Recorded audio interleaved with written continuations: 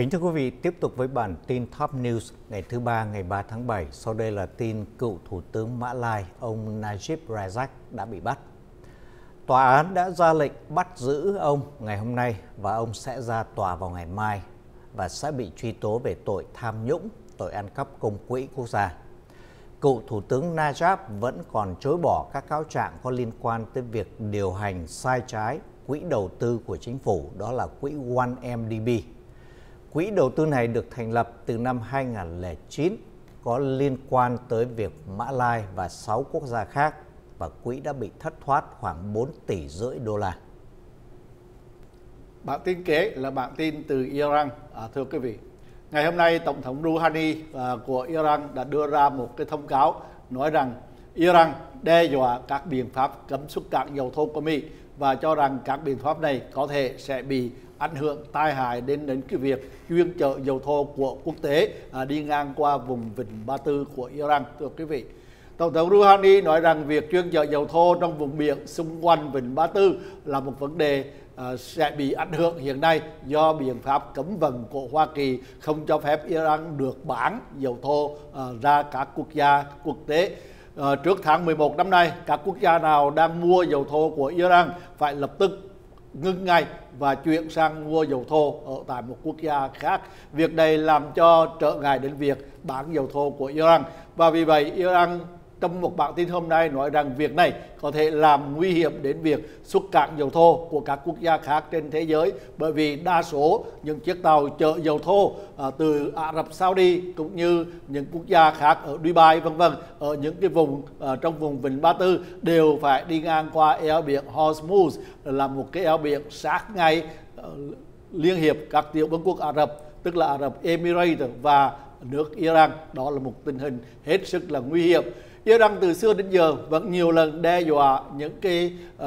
qua những cái chuyện dầu thô như trên nhưng mà chưa có lần nào họ thành công. Uh, chỉ vì Hoa Kỳ cũng quan tâm đến cái việc uh, an nguy của tất cả những dầu thô những chiếc tàu chở dầu đi ngang qua vùng eo biển nói trên. Cho nên Hoa Kỳ cũng đã chuẩn bị sẵn sàng và các cái tàu chiến của Hoa Kỳ cũng như một cái hàng không mẫu hàm vẫn thường có mặt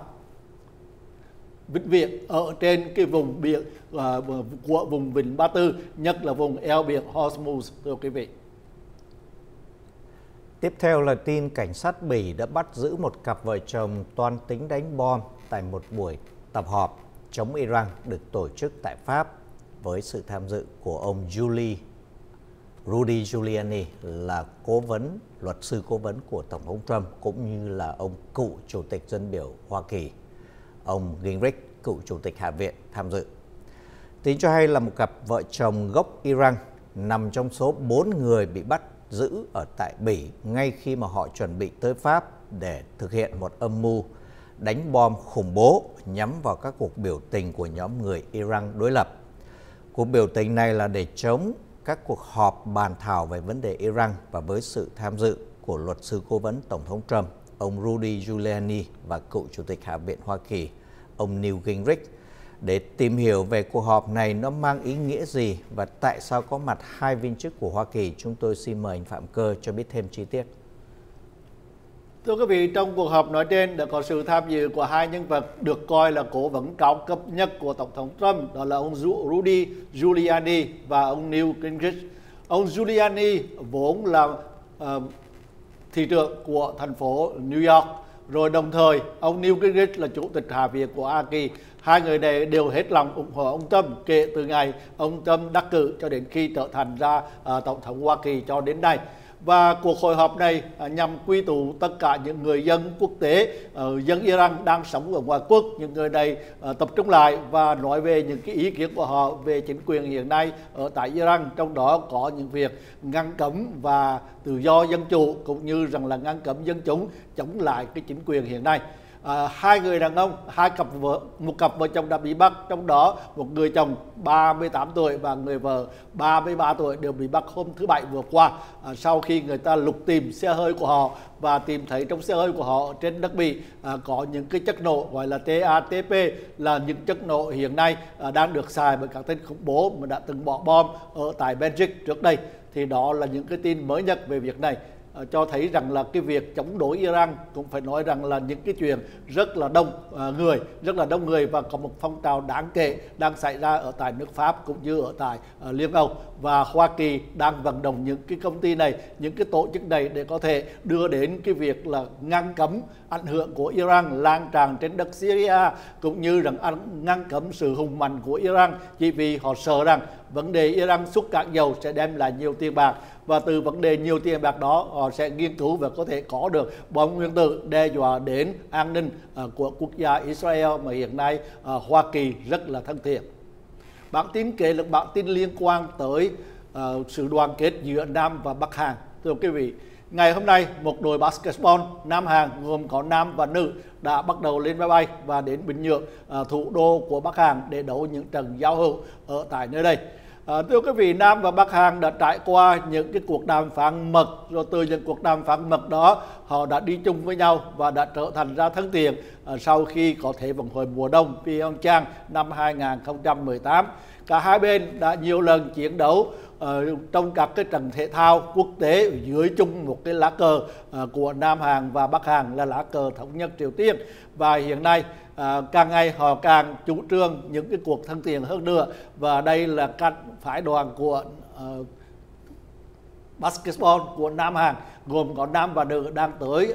uh, kêu là thủ đô À, của Bình Nhưỡng và đang ở cái phi trường quốc tế Bình Nhưỡng à, và được lên à, xe buýt cũng như đi về thủ đô của Bình Nhưỡng và sau đó họ sẽ tham dự những cái trận đấu giao hữu ở ngay tại nơi đây cũng giống như ngày xưa đã có những trận bóng bàn giao hữu ở giữa các đội Hoa Kỳ với là đội bóng bàn của Trung Hoa trong thời kỳ tổng thống Nixon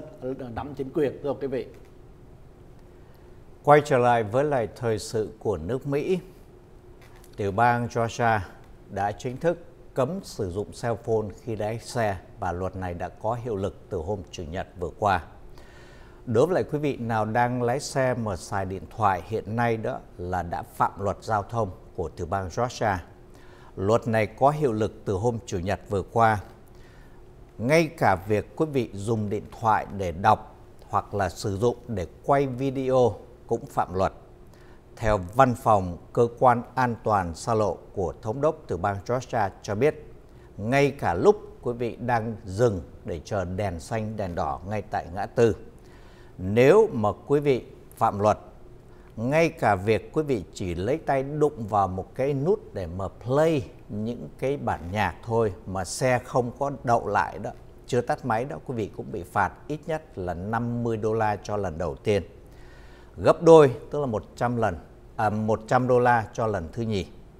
Luật này được ký bởi thống đốc của tiểu bang Georgia và Nathan từ hồi tháng 5 với mục đích là giảm thiểu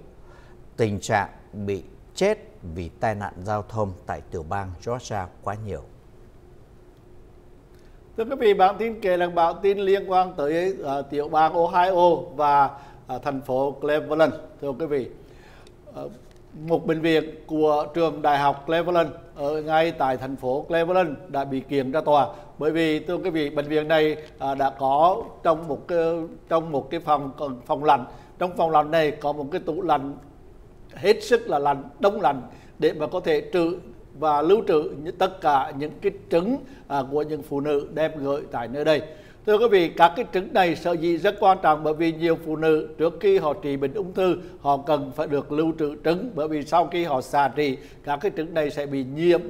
phóng xạ do đó họ cần gửi tại bệnh viện ờ, trước khi các cái trứng này à, bị nhiễm phóng xạ và từ đó đến khi họ trị bệnh xong họ có thể đem những trứng này về ờ, và cho thụ thai. Tuy nhiên trong mùa hè vừa qua ờ, sau một cơn mất điện ở tại nơi đây cái máy, nhà, cái máy lạnh này đã không có chịu hoạt động và cái tủ lạnh, đông lạnh này cũng bị hư và họ, tủ lạnh này lại không có cái dấu hiệu báo rằng đó đang bị cúp điện và đang bị hư. Cho nên bệnh viện không biết gì về chuyện này và do đó tất cả 4.000 cái trứng chứa ở đây đều bị hư hỏng. Và vì vậy cho nên à, những cái người chủ nhân những cái trứng này gồm có nhiều phụ nữ trên cả mấy trăm phụ nữ đã làm đơn kiện bệnh viện nói trên và cho rằng bệnh viện phải hoàn toàn chịu trách nhiệm trong vụ trong vụ này à, tại tòa án bệnh viện cho rằng là đó là những cái rủi ro trong nghề nghiệp và họ hoàn toàn không có cố ý cho nên họ không có chịu trách nhiệm trong vụ này. Và trong vụ này chỉ vì rằng là cái hệ thống nó bị hư hỏng nhiều hệ thống một lần cho nên việc báo động rằng không có điện đã không có xảy ra. Do đó họ không hề biết rằng cái tủ lạnh đó đang bị hư và vì vậy đã làm hư các trứng của bệnh nhân nhưng họ cho rằng họ không có trách nhiệm và họ yêu cầu tòa án đứng về phía họ thì vụ sự hiện đang tiến hành à, chưa có kết quả gì thêm về vụ này thưa quý vị Thưa quý vị, tiếp theo là tin nhiều người Mỹ vì hiếu kỳ cho nên muốn đến coi 8 bức tường biên giới mẫu đã được dựng ở tại biên giới Mễ và Mỹ. Chính vì như vậy cho nên một công ty du lịch đã thương mại hóa vì lòng hiếu kỳ của người dân Mỹ muốn đi xem bức tường biên giới. Cho nên họ đã tổ chức bán vé và chở những người tới đây để đi xem. Công ty du lịch được biết là Turista Libre Mexico do ông Derek Chin thành lập đã tổ chức bán vé để cho dân Mỹ đi coi bức tường biên giới kiểu mẫu này. Lý do chính là bởi vì bên phía biên giới, bên phần đất của Hoa Kỳ thì không nhìn được cái bức tường này. Phải đi xuống qua vùng Tijuana ở bên phía Mễ thì mới nhìn được. Và chính vì vậy, ông này đã có ý tưởng là làm tiền lợi dụng bức tường biên giới để mà đi xem chở những người này để bán vé và việc lợi dụng này có vẻ như thành công bởi vì người ta nói rằng đây là một cái chuyện mà họ kiếm ra tiền rất là dễ dàng mà không tốn kém một chút gì cả bởi vì đây là cái tám bức tường mẫu do các cái cơ quan đấu thầu họ đưa ra để nếu như có ngân sách Ờ, xây được bức tường biên giới giữa Mexico và Mỹ thì họ sẽ được chọn một trong tám bức tường ờ, mẫu nói trên để có thể dùng cho cái việc ờ, xây các bức tường thưa quý vị. Bản tin kể là bản tin liên quan tới núi lửa tại Hawaii thưa quý vị. Ở tại Hawaii có hòn đảo Big Island và trên đó có ngọn núi lửa Kilauea. À, ngọn núi lửa này thưa quý vị hai tháng nay à, đã khởi động trở lại và nhúng nham Ờ, trôi xuống khắp nơi ờ, từ trên miền núi lửa tràn xuống các cái vùng lân cận. Ít nhất 2.800 gia đình ờ, đã bị mất nhà cửa do những cái dung nham của núi lửa trôi xuống và đồng thời hiện nay à, công, cái việc núi lửa đây vẫn còn hoạt động à, cho, khiến cho người ta à, đánh tan được những cái niềm những cái chuyện mà từ xưa đến giờ nhiều người nghĩ rằng, bởi vì không có tin tức gì cho nên họ nghĩ rằng núi lửa đó đã ngưng trở lại rồi. Tuy nhiên không thưa quý vị, hơn 2 tháng qua ờ, dung nham núi lửa vẫn tiếp tục tràn xuống từ trên miền núi. Như quý vị thấy, một dòng sông lửa đỏ đang chạy xuống ở phía dưới và một số nhà dung nham này đã chạy xuống cái vùng bờ biển ở cạnh đó và rơi luôn xuống dưới biển. Thì đó là một trong những cái chuyện đang xảy ra tại Hawaii chứ không phải rằng cái chuyện này đã chấm dứt trong vòng 2 tháng qua, thưa quý vị vẫn liên quan tới thiên tai, đám cháy rừng ở Bắc California vẫn tiếp tục hoành hành và cho đến nay một lực lượng các nhân viên cứu hỏa khoảng 2.000 người vẫn tiếp tục công việc để mở chữa cháy. Đám cháy này đã bùng phát từ hôm Chủ nhật ở miền Bắc California và đám cháy được đặt tên là County Fire bùng phát vào chiều thứ Bảy thì đúng hơn ở vùng Yolo County ở phía tây của thủ phủ Sacramento. Tính cho tới thời điểm ngày thứ hai vừa qua, đám cháy đã thiêu rụi hơn 60.000 mẫu và chỉ có 5% là kiểm soát được mà thôi. Khói có thể nhìn từ xa tới 75 dặm ở vùng phía nam của vùng vịnh Mễ Tây Cơ.